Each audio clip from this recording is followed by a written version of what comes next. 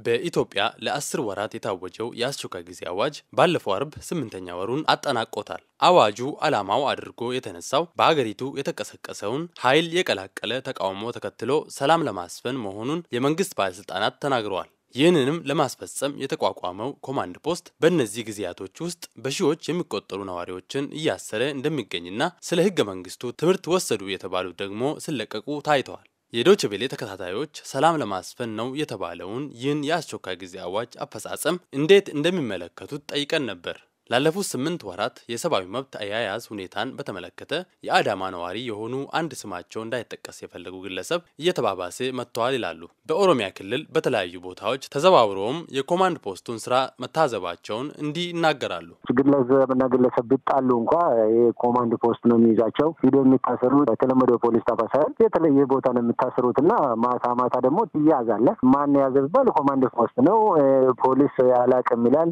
ቤተሰብ ሂዶ መጠየቅ አይችልም። ይሄ የተለመደና የቀጠለ ነገር ነው። ምክንያቱም ማታ ማታ ትታፈሳለህ፣ ፍርድ ቤት ሳትቀርብ ምንም ነገር ሳትጠየቅ በመደብደብ ትለቀቃለህ። ሁሉም ቦታ ያለው ነገር ይሄ ነው። አሁን ምንድን ነው እነሱ አሁን የሚመስላቸው ነገር የቀዘቀዘ ወይ ደግሞ የተረጋጋ ሊመስል ይችላል። ይሄ አይደለም። መሰረታዊ ነገሮች ናቸው መለወጥ ያለባቸው። የአገሪቷ እዚህ አይነት ነገር ላይ ደረሰችው በምን ምክንያት ነው የሚለው ነገር ነው መታየት ያለበት። ይሄን ነገር ነው እንጂ ከመሰረቱ መቀየር እንደዚሁ አስቸኳይ ጊዜ አዋጅ አውጆ በስድስት ወር ጠብቆ አራት ወር መጨመር እንደዚህ አይነት አይደለም ሀገር የሚያረጋጋው። የአዲስ አበባ ነዋሪ የሆኑና ስማቸው ግን እንዳይጠቀስ የፈለጉት ሌላ ግለሰብ በበኩላቸው ለኮንስትራክሽን ስራ ሲባል በተለያዩ በአገሪቱ ክፍሎች እንደሚዘዋወሩ ለዶችቤሌ ተናግረዋል። አዋጁ ሰላም ለማስፈን ዓላማው አድርጎ ብነሳም እሱን ተገን አድርጎ አንዳንድ ህገወጥ ነገሮች ገሃድ ወጥቶ እንዲካሄድ አድርጎታል ብለዋል። ወደ ክፍለ ሀገር ስመላለሱ አጋጠመኝ ያሉትን እንዲህ አጋርቶናል። እንደውም አንድ ጊዜ ከአስጠላ ወደ አዲስ አበባ ስመጣ ፍተሻ አለ።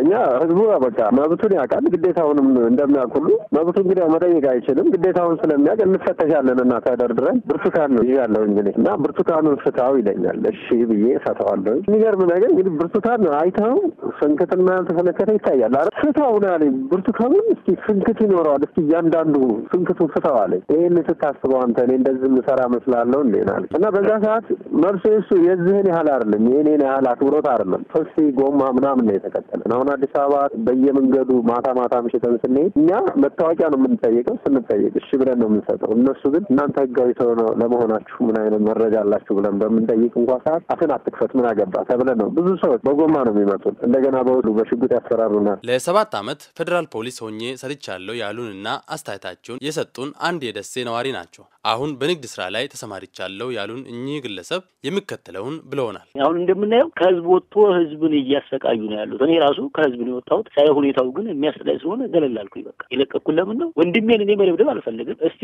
አንተ ሀቅ የምትናገር ሰው ከሆንክ ይሄ ይሄ ትክክል አይደለም ብለህ በምተችበት ሰዓት አንተ ሌላ ነገር ውስጥ ነው የሚታሰበው። ገብቶሃል? ከዛ ውስጥ ራሱ ልውጣ ብዬ ነው ራሴ የወጣሁት። እዛው በደሴ ነዋሪ የሆኑት ሌላ አስተያየት ሰጪ በበኩላቸው አዋጁ በባህር ዳርና በጎንደር መረጋጋትን አምጥተዋል ውጤታማም ነው ብለዋል። የአስቸኳይ ጊዜ አዋጁ ከታወጀ ወዲህ ያው በሌሎችም ክልሎች እና በአቅራቢያ በባህር ዳር እና ጎንደር አካባቢ የነበሩት አመጾች ያው በተወሰነ መልኩ ያው ሙሉ በሙሉ ማለት ባይቻልም ያው ማለት በርደዋል እና የአስቸኳይ ጊዜ አዋጁ ውጤታማ ነው ባይ ነኝ። ይህንኑ ጉዳይ በተመለከተ በዶቼ ቬሌ ፌስቡክ ላይ አዋጁ ሰላም አስፍኗል የሚል አስተያየት የላኩልን አሉ። ሹሻይ በርሄ አዋጁ አረጋግቷል፣ ሆኖም አሁንም መራዘም አለበት ሲሉ አስተያየታቸውን ሰንዝረዋል። የአስቸኳይ ጊዜ አዋጁን በተመለከተ በኢትዮጵያ መንግስት በኩል ያለውን አስተያየት ለመቀበል ያደረግነው ተደጋጋሚ ጥረት አልተሳካም።